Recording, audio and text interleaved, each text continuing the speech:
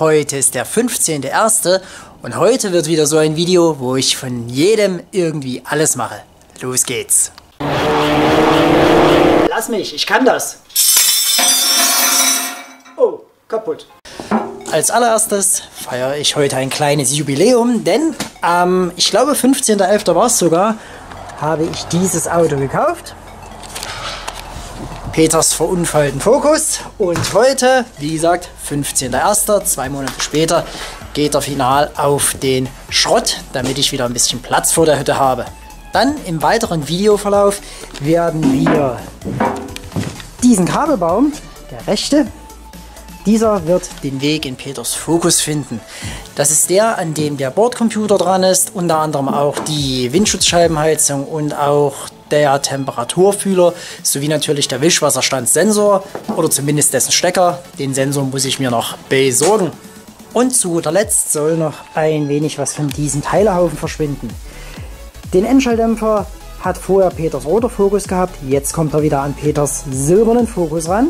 Und der Mittelschalldämpfer, der hier liegt, der soll in diesem Video auch noch verbaut werden, denn, wartet, nachdem der blaue, der parkt da hinten, in den letzten Monaten immer nur gegeben hat, wird er heute wieder was bekommen. Eben diesen Schalldämpfer. Damit gehe ich in winzig kleinen Schritten, was das angeht, endlich mal wieder auf die Hauptuntersuchung zu, denn diese ist seit Juni oder Juli 18 abgelaufen. Und jetzt sorge ich dafür, dass draußen ein bisschen Platz wird. Ich warte jetzt fix auf jemanden, der ein Zugfahrzeug hat, denn der Fokus steht ja schon auf dem Hänger. Der geht dran in die Presse angekoppelt ist. Und jetzt geht der Bobby auf den Schrotti. Und wieder mal ein unrühmliches Ende für einen Fokus.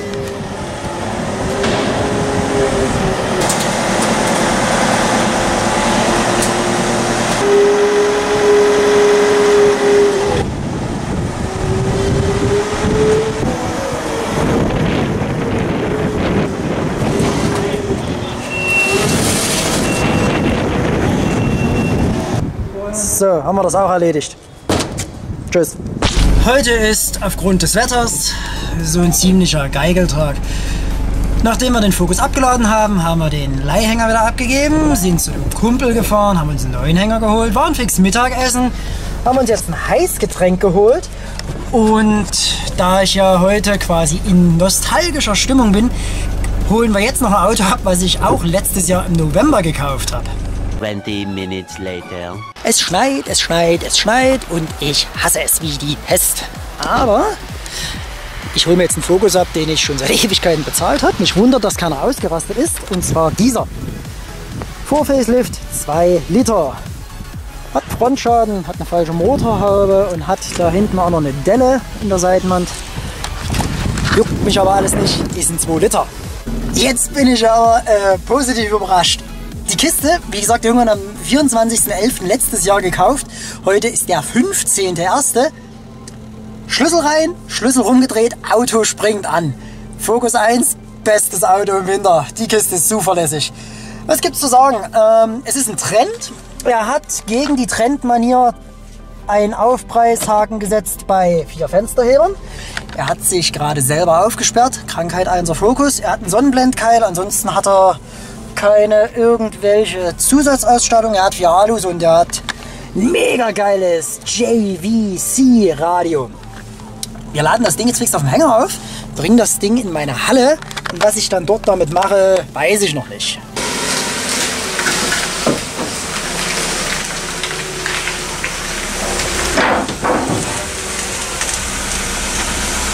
Ankunft in der Halle und der rote steht, wie ihr gerade gesehen habt, auf der Bühne. Bevor wir von unten unter das Auto schauen, schauen wir natürlich erstmal ins Auto. Ich glaube, ich war vorhin ein bisschen überschwänglich, weil ich mich wirklich gefreut habe, dass, obwohl wir eine Ersatzbatterie dabei haben, wir bei dem Regenwetter keine Ersatzbatterie einbauen mussten. So sieht das ganze Stück aus. Vom Zustand her innen gar nicht mal allzu schlecht. Was auffällt, ist, dass der Schaltschnauf fehlt, oder zumindest dessen Deckel. Aber Immer wenn ich so ein Auto kaufe, schaue ich in alle Ritzen, in alle Ecken, einfach weil ich es cool finde, was manche Leute beim Autoverkauf im Auto liegen lassen. Warum auch immer sie das tun. Außerdem gucke ich natürlich, ob die Elektrik wenigstens halbwegs funktioniert. Deswegen hier elektrische Spiegel hat er keine, aber vier Fensterheber. Oh. Gucken wir erstmal, ob die funktionieren. Die Funk-ZV funktioniert nicht. Okay, hinten rechts geht nicht. Aber hinten links geht und alle anderen, oder die restlichen drei gehen auch. Machen wir hier wieder aus. Radio funktioniert auch.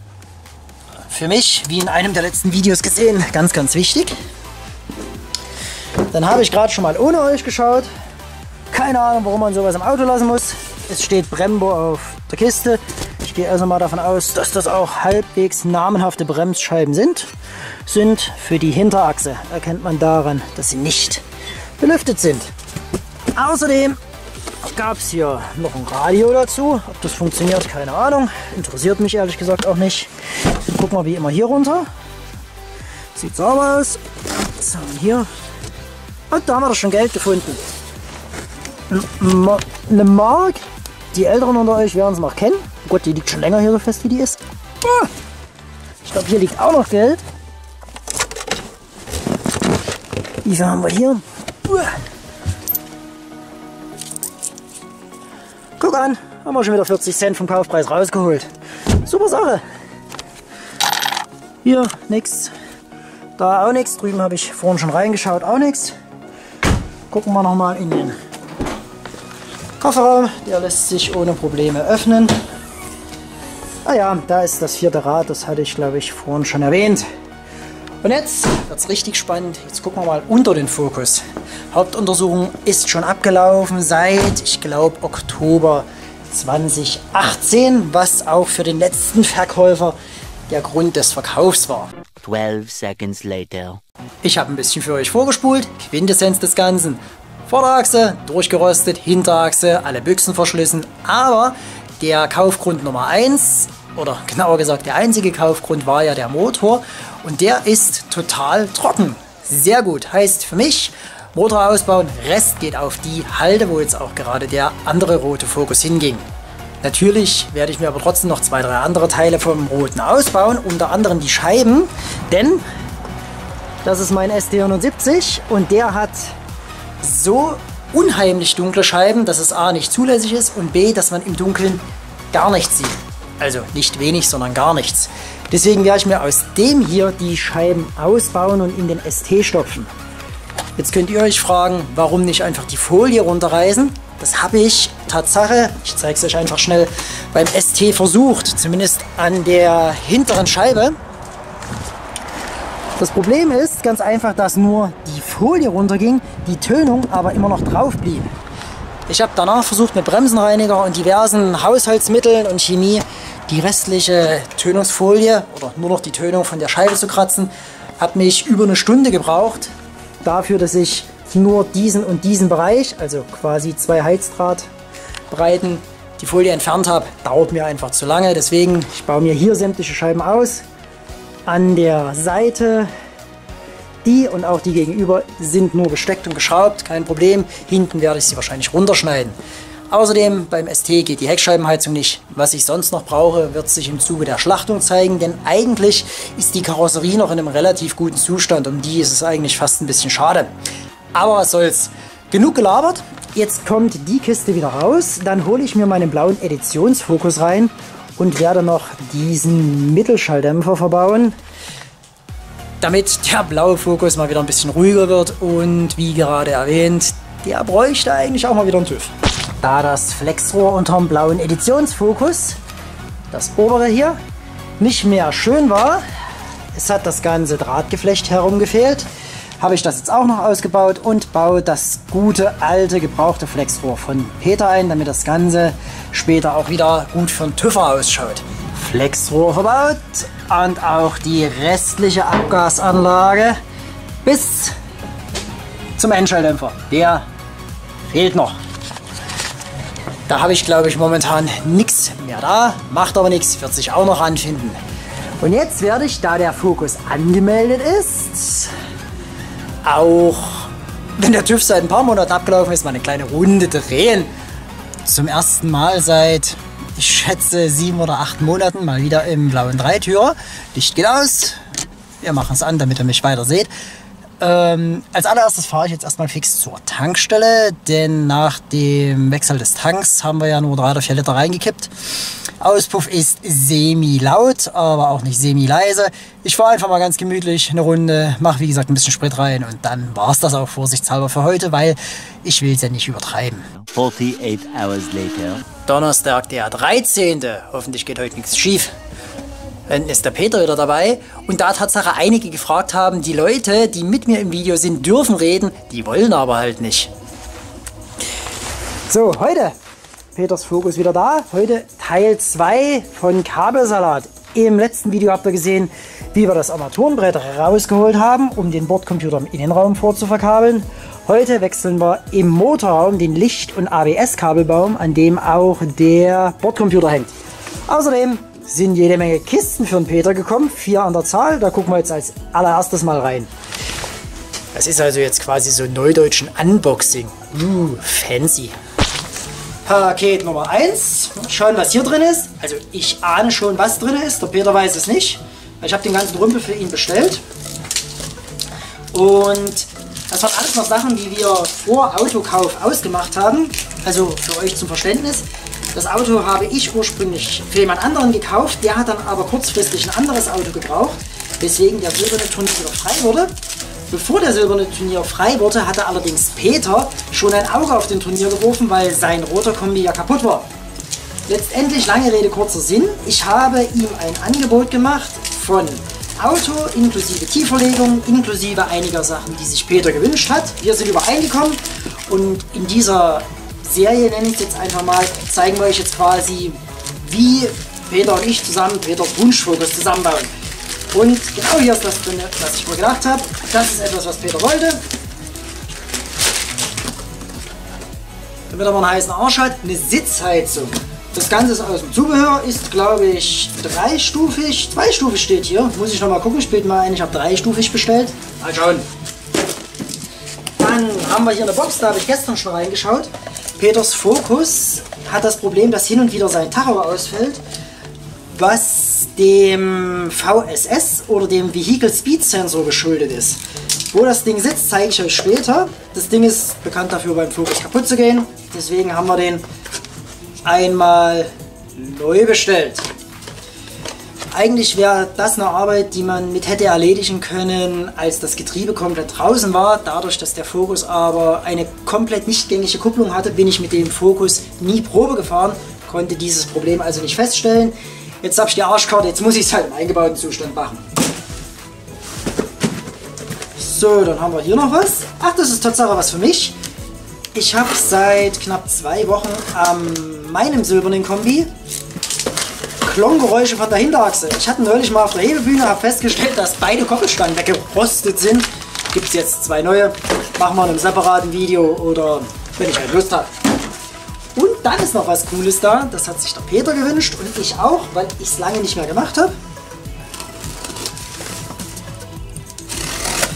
Und ja, ich habe gleich ein paar mehr bestellt. Falls ihr also noch einen Satz braucht, könnt ihr euch an mich wenden.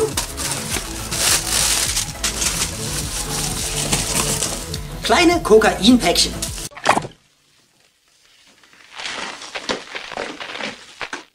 Kokainum. Wahrscheinlich mehr Verpackung als das Ganze wert ist, aber hey. Und zwar sowas. Das sind die Blinkergläser für die Facelift-Scheinwerfer, aber in, wie ihr seht, transparent und nicht orange. Und ja, im Zuge der Vorverkabelung, die wir heute reinbauen, bekommt Peter später auch noch die Facelift-Scheinwerfer weil sie ihm besser gefallen und weil auch die Lichtausbeute mit getrennten Birnen deutlich besser ist. So, jetzt habe ich euch alles gezeigt, jetzt fangen wir an. Beziehungsweise wir haben es jetzt gleich um 12, wir gehen jetzt erstmal Mittagessen. Das muss ja auch erledigt werden. Los geht's im Motorraum. Wir müssen den Kabelbaum komplett wechseln. Das bedeutet, dieser Kasten und alles, was dranhängt, muss raus. Das heißt wiederum im Umkehrschluss, hier vorne muss alles ab. Scheinwerfer raus, Frontmaske komplett raus, also dieses Teil. Stoßstange sowieso, etc. etc. Kommt uns natürlich sehr entgegen, denn wir müssen auch vorne da unter der Pflaume noch das Motorhaubenschloss wechseln, damit der Peter zum Schluss ein einheitliches Schließsystem im ganzen Auto hat. Das wird uns jetzt, denke ich mal, circa eine Stunde lang kosten und danach, also danach machen wir wirklich Mittagessen. Eigentlich würde es vollkommen zureichen, die fehlenden Kabel nachzuziehen. Also in Peters Fall die Außentemperatur und auch für den Wischwasserstandsanzeiger.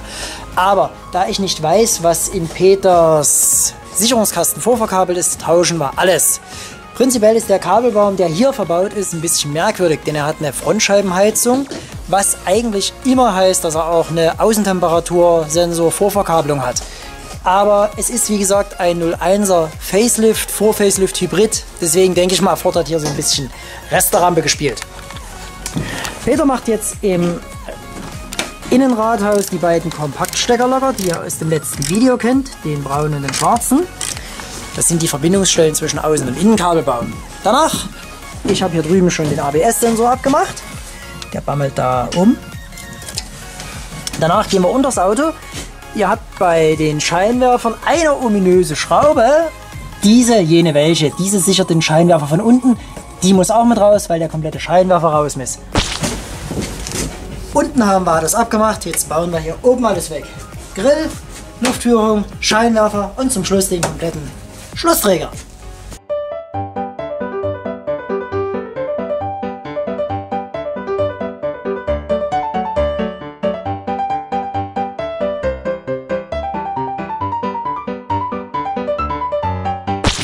Um die komplette Frontmaske wegzunehmen, braucht es nicht viel. Schraube 1, Schraube 2, Schraube 3, Schraube 4 und dann habt ihr hier von der Unterseite auch noch eine Schraube, die den Kotflügel verbindet. Haben wir hier schon abgemacht. Danach habt ihr hier 1, 2 und da hinten Nummer 3. Drüben haargenau dasselbe. Und dann könnt ihr die komplette Frontmaske nach vorne wegziehen. Das machen wir jetzt auch. Vorne ist alles raus und wir haben das gemacht, weil wir an dieses Kabelpaket kommen müssen. Wir fangen jetzt von der Beifahrerseite an, den ganzen Kabelbaum in die Richtung zu ziehen und letztendlich holen wir ihn dann nach vorne raus. Dazu muss noch dieses Behältnis, der Überlaufbehälter für die Kühlflüssigkeit weg, denn unter ihm läuft die Leitung fürs ABS lang. Als nächstes müssen wir an den Kabelstrang ran. Der Kabelstrang sorgt dafür, dass die heizbare Frontscheibe mit Strom versorgt wird. Einmal auf der Seite, einmal da hinten. Um an den Kabelstrang ranzukommen, muss aber der Windlauf weg. Und bevor der Windlauf weg kann, müssen vor allen Dingen die Scheibenwischer weg. Wenn wir das geschafft haben, gehen wir endlich essen, weil das sage ich jetzt irgendwie zum dritten Mal und das schon seit einer Stunde. Nasen reindrücken, dann springt der Windlauf nach oben. Und wir haben ein riesengroßes Problem. Und zwar haben wir folgendes, ja, ich will es nicht Problem nennen, aber Ungereimtheit. Das ganze Fahrzeug, der komplette Fokus ist ein Vor-Facelift. Dementsprechend dachte ich, dass auch hier vorne der Licht- und ABS-Kabelbaum vor Facelift ist. Ist er aber nicht. Ganz einfach daran zu erkennen. Und den Schuh muss ich mir anziehen, denn ich habe es leider nicht gesehen, weil ich einfach nicht davon ausgegangen bin. Das ist der Sicherungskasten im Motorraum. Und dieses Kabel, was da oben reingeht, ist einmal für die Frontscheibenheizung, der Flachstecker und unter dieser Abdeckung der Anschluss für den Scheibenwischermotor. Der Scheibenwischermotor ist okay, das ist auch gar kein Problem, aber der Unterschied zwischen Facelift und Vor-Facelift Frontscheibenheizung ist gravierend. Beim Vor-Facelift geht das Kabel für die Frontscheibenheizung einmal dahin und dann unterm kompletten Kasten lang darüber. Das heißt, auf der einen Seite geht Strom rein, auf der anderen Seite liegt Masse. Beim Facelift haben sie das zentral gelöst. Also ja, im Umkehrschluss auch die Frontscheiben sind anders. Das wusste ich auch. Aber wir haben jetzt das Problem, der alte Kabelbaum, der aus dem roten Fokus von ehemals Peter kam, ist ein Vor-Facelift und hat diesen Stecker. Das ist quasi Masse. Und dann ist das das Stromkabel, was normalerweise da drüben liegt. Wir haben jetzt eine halbe Stunde Bücher gewälzt und Kabelpläne studiert. Der einzige Unterschied, den es gibt, ist Position. Das heißt, die Sicherungskästen sind komplett gleich, es ist alles andere auch haargenau gleich. Deswegen machen wir jetzt Nägel mit Köpfen. Hier am Stecker machen wir einmal Schnipp und einmal Schnapp. Dann kommt der komplett neue Kabelbaum rein, der nachweislich vor Facelift ist. Und dann verlängern wir einfach die Kabel, beziehungsweise wir brauchen ja nur ein Kabel verlängern und löten das Ganze mit dem roten Kabelbaum, mit dem Kabelbaum, der hier verbaut ist, wieder zusammen. Sollte funktionieren. Ich sehe keinen Grund, warum es das nicht tun sollte. Trotzdem für mich ziemlich blöd, weil eigentlich soll das ganze Plug and Play sein. Es ist halt ein Hybrid-Fokus. Darauf bin ich, glaube ich, im ersten Video, wo ich das Auto vorgestellt habe, schon mal eingegangen.